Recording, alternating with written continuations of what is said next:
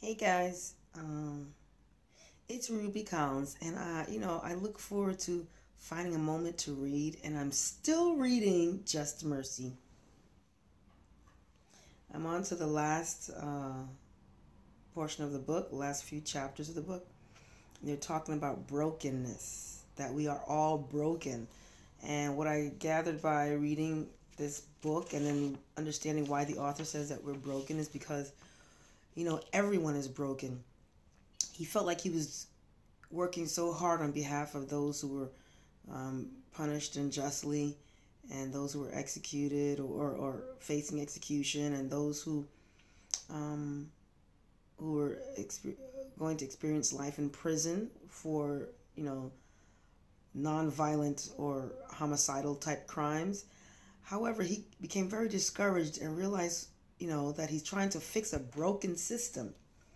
And the broken system reminded him that, wait a minute, we all are broken in some way. You know, the system is broken. I'm broken for trying to fix a broken system. And in all of us, there is some brokenness because we are humans, we exist, we deal with all that there is around this world and this earth, and we just are trying to be the best human we can be, but somewhere inside of us, we're all broken. And, you know, instead of him, I think he's getting to the point where he says that he's not going to, that he, it seemed as he was going to give up. Like, why am I trying to fix something that's broken? The system has been like this for hundreds of years, and I'm trying to, you know, save these individuals from facing the, you know, execution.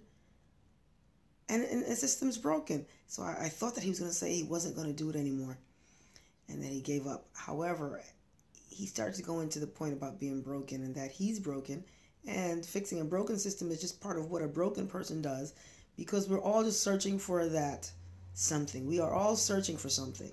And part of searching is being broken because there are so many things and obstacles that come our way and things that we have to you know fight and and and, and experience a lot of heartbreak and happiness and everything that comprises a human being. So I will let you know what happens at the end of the story, and I love it. I'm just enjoying this.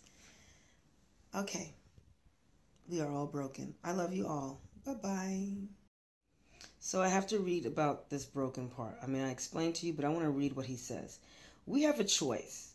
We can embrace our humanness, which means embracing our broken natures and the compassion that remains our best hope for healing, or we can deny our brokenness, forswear, which means to give up, compassion, and as a result deny our own humanity.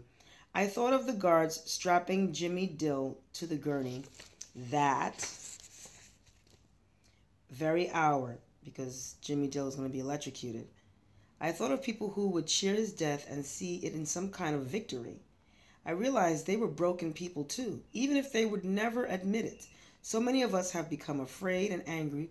We've become so fearful and vengeful that we've thrown away our children, discarded and disabled and sanctioned the imprisonment of the sick and the weak, not because they are a threat to public safety or beyond rehabilitation, but because we think it makes us seem tough, less broken.